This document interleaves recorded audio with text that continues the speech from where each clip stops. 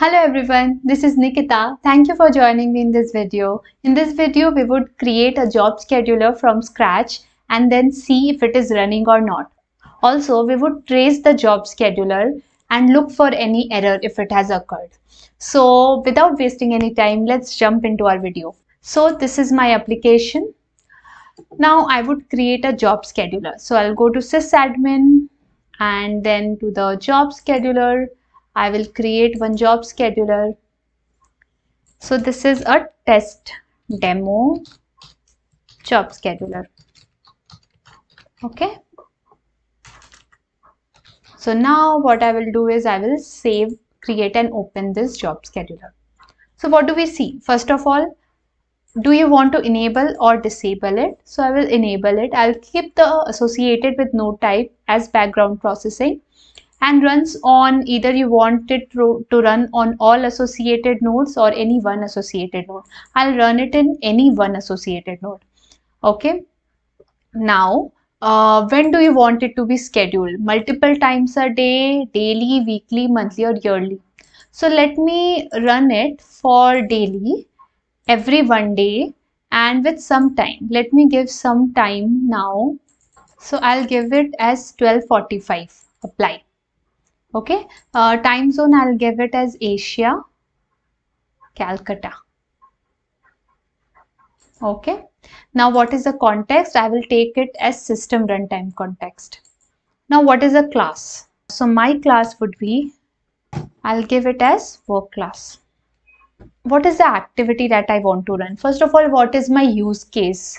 What should the job scheduler do so the use case would be, uh, uh, I want to resolve all the cases in onboarding class where the status is new.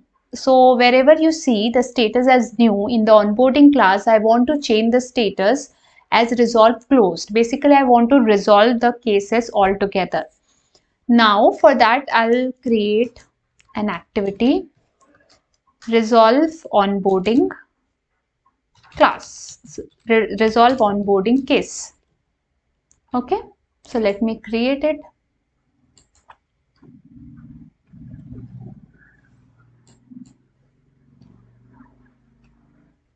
Okay? So now what do i want this activity to do? First of all i will uh, create a page. So page new onboarding case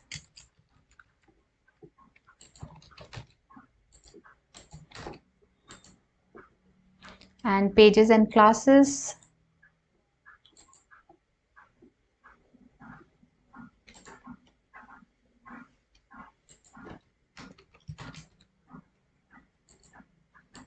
I'll give this class. What should be the next step? In the next step, I want to basically browse all the onboarding cases where the status is new okay. So for that i will have a obj browse.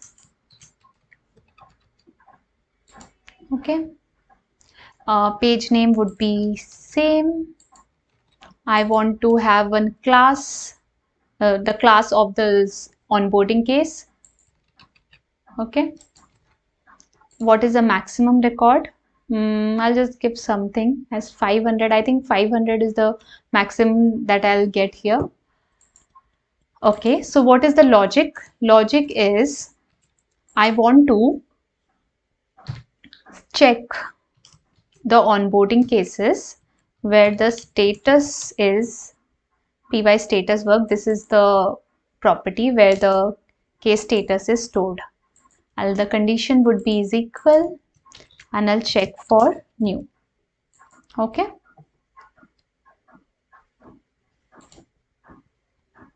Browse the list of onboarding case with status as new.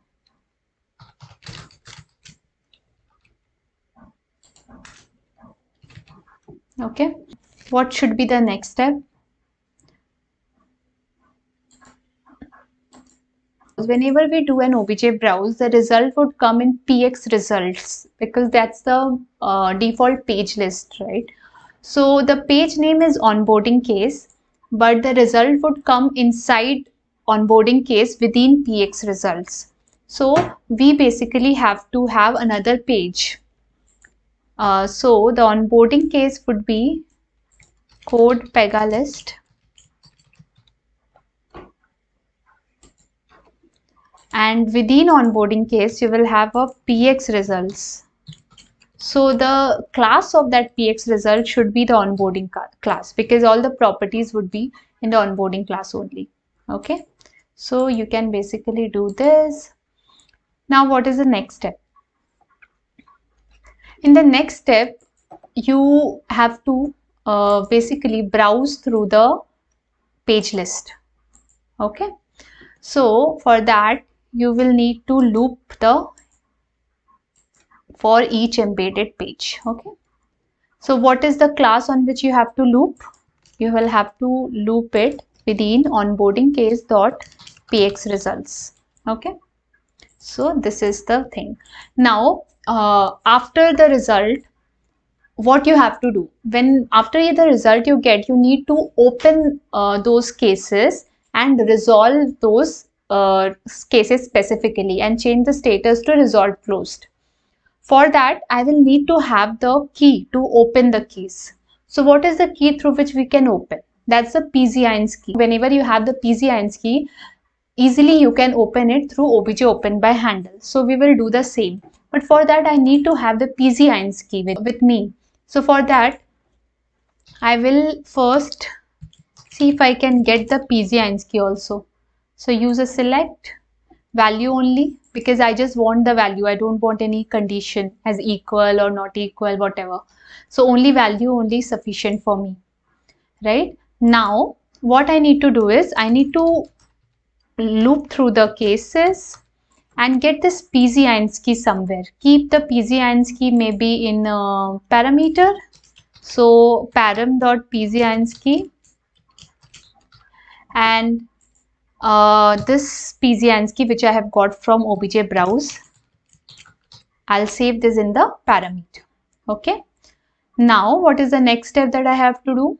I need to open the case and close it or force close those.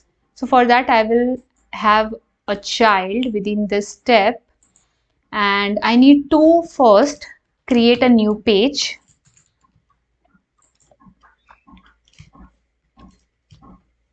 page to resolve page. Uh, so for that I need to declare this page in pages and classes to resolve and the class would be the onboarding class. Now the next step would be opening this uh, opening this case. So page open by handle uh, I need to provide instance handle. So this is the one. Now uh, give the page here as well. You need to open and do something on the case. For that it is very important to have a lock on the case. So I will click on lock and also release on commit because I want it to be committed as soon as possible. After we are committing it, we want this particular lock to be released now the next step would be, what should be the next step? I need to force close this case. Okay. So for that I will use a activity px force px force case close okay and what is the page to resolve page now you need to provide the work object ID that is the param PZINS key. And what is the work status? Resolved, closed. Uh, do you want to put some audit note here? Yes. I can put an audit note is um, closed through a job scheduler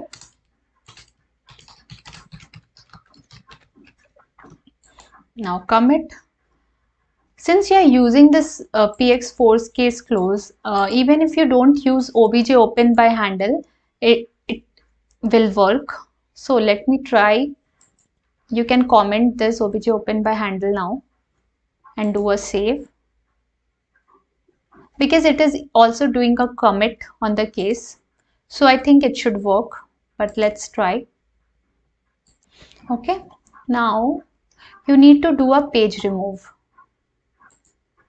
Since all those pages are unutilized okay.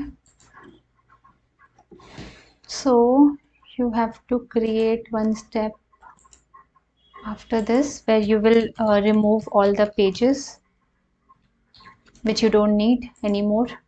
So I don't need this page I don't need to resolve page. So this we can remove it right? Now I'll check in.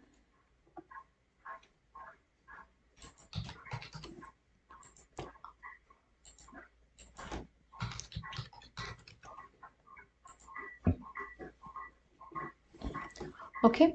So I will run this job scheduler. I don't have to run basically because we have given some time to it. So what is the time we have given? We have given 1245 let's change this. Let's give it as 1224 we will apply and then do a save. So at 12:24 p.m. of Asia Calcutta this should run. Okay? So let's uh, go to admin studio and see whether it is running or not. Okay? Uh, we'll go to resources and jobs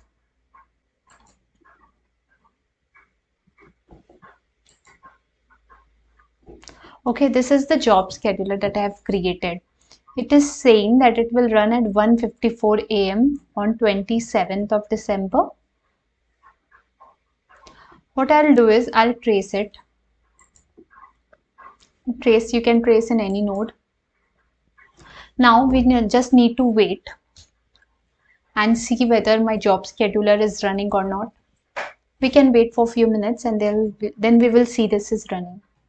Okay, so I see my job scheduler has run already.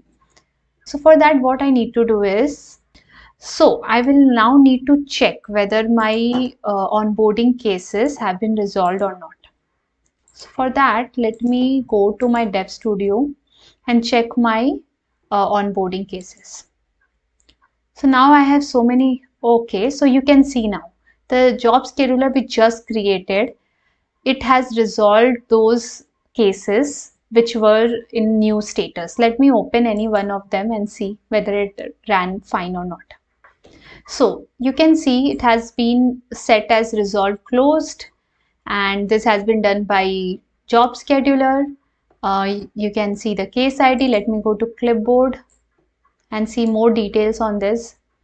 So if you can go to PY work page, you will see uh, you will see the resolve summary. This is very important for you to know who has resolved this. So you can see this shows that it has been set to resolve closed and the timestamp uh, at which it got resolved and who has resolved it and the username of that uh, person so this is this is the way you can know who has resolved your cases okay so uh, you you can see the job scheduler has run fine and it has um, resolved the cases and whenever you have any doubt in your job scheduler the best way is go to admin studio and trace that job scheduler when you uh, trace this you will immediately know in which step you had that issue and you would be able to fix them so this was all about job scheduler. I hope this was useful to you. So we would come again with the next video very soon. Thank you so much for watching this video. Till then, bye-bye.